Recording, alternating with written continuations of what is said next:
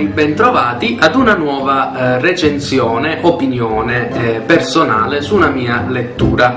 Oggi vi voglio parlare eh, di un romanzo fantasy di genere Sword e Sorcery eh, dal titolo Il patto della viverna dell'autore eh, Maurizio Vicedomini.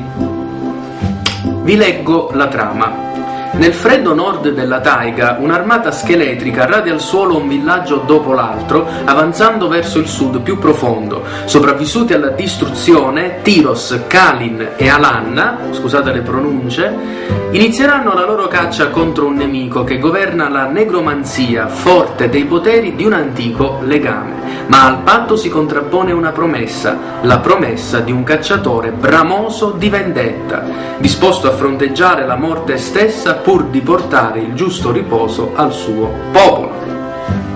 Come eh, chi mi segue saprà già, la mia eh, lettura privilegiata è la fantascienza, non il fantasy, quindi io premetto sempre ad ogni recensione che la, il fantasy non è che mi piaccia tanto, però con quest'opera mi devo ricredere perché Maurizio è riuscito col suo stile eh, davvero molto scorrevole e coinvolgente a farmi appassionare a questa storia. Lui è riuscito davvero a, a catturare la mia attenzione, quindi per questo vale già tanto. Allora, la storia che eh, l'autore ci presenta già dal titolo colpisce. Il patto della viverna. Io ho detto, mi sono chiesto, ma che cos'è una viverna? La viverna è una sorta di drago, è un lontano parente del drago e dell'idra, ricordate quella di Hercules, quella che si moltiplicava, più teste tagliavi e più ne sbucavano fuori altre? Ecco, è un mix tra un drago e un serpentone marino, chiamiamolo così.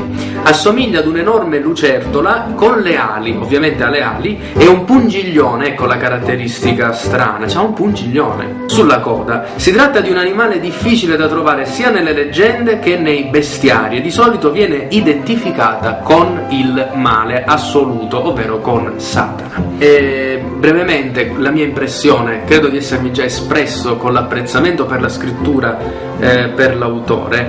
La storia veramente eh, ben scritta, tratti riusciremo poi a capire quello che era successo molti secoli prima eh, dell'avventura dei nostri tre protagonisti, che poi diventeranno due. Se dovessi trovare dei difetti, eh, bene, mm, mi mancavano le figure femminili. Mm, la figura femminile è solo Alanna, ma secondo me per un motivo, perché altrimenti eh, non, non, non, avrebbero spiccato Tiros e Kalin se ci fossero state altre, presenti altre figure femminili. Questo un po' mi è dispiaciuto perché avrei preferito nella storia più figure femminili. E l'inizio può spiazzare, può spiazzare perché viene eh, massacrata, massacrata, l'intera popolazione della tribù di eh, Tiros, che, un, che è un arciere, eh, che raccaccia con la sua compagna d'infanzia e con il suo mentore Kalin. E eh, praticamente gli sterminano davanti agli occhi tutto eh, il suo popolo. E, e, questo un po' può spiazzare perché uno inizia a leggere la storia e, e pensa ma scusa ma qua neanche iniziato già sono tutti morti. Un po' può, può spiazzare però poi si capirà il motivo di questo massacro eh, vedremo poi magie, negromanzie, incantesimi, patti e chi più ne ha più ne metta. Quindi come tessuto fantasy c'è davvero tutto, non manca proprio niente perché ci sono eh, combattimenti a non finire e quindi questo a chi piacciono i romanzi eh, di azione eh, mh, si troverà diciamo soddisfatto ampiamente sui, sulle lotte. Anche la caratterizzazione psicologica dei personaggi è interessante e soprattutto quando riusciamo poi a scoprire il passato eh, di alcuni protagonisti che non vi posso citare per non rovinarvi la trama.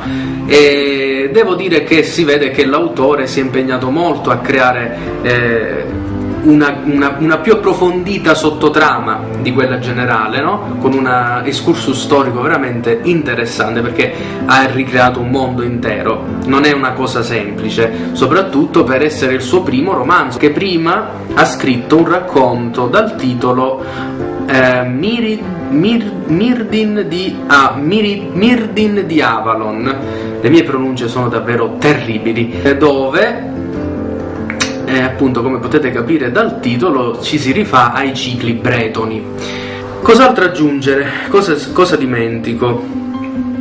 Ah, eh, credo che il filo d'unione, eh, così come l'autore stesso ammette, è la vendetta. Infatti, eh, lo scopo principe di Tiros è quello di vendicare il suo popolo massacrato davanti ai suoi occhi da questi strani e misteriosi guerrieri scheletrici e vedremo che eh, non saranno soli questi protagonisti ma saranno aiutati da un misterioso druido eh, stregone della natura ecco un'altra caratteristica del romanzo è che eh, come l'autore nella postfazione scrive e può il fantasy e il fantastico in generale parlare della realtà è una domanda che pongo spesso, ricevendo sempre risposte diverse e contrastanti. Dal mio punto di vista il fantastico ha come primo scopo proprio l'analisi della realtà, in barba a coloro che lo considerano letteratura bassa.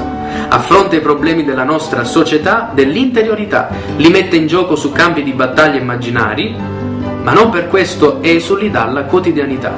Ne cambia solo l'approccio, facendoli danzare secondo una linea allegorica. L'autore stesso, come vi ho appena letto, ehm, ha inserito un'altra immagine della nostra realtà, cioè è riuscito davvero a mm, darci il suo punto di vista della realtà, del bene e del male, della religione, eh, della società, eh, della sociologia umana. E questa è un'altra cosa veramente da apprezzare. In definitiva, nonostante non sia il mio genere preferito, eh, non mi sono annoiato nella lettura, anzi è molto scorrevole come ho già detto, quindi io vi consiglio assolutamente di leggere Il patto della viverna. E auguro all'autore esordiente di eh, continuare a scrivere perché ha della stoffa, veramente bravo, bravo, bravo, complimenti.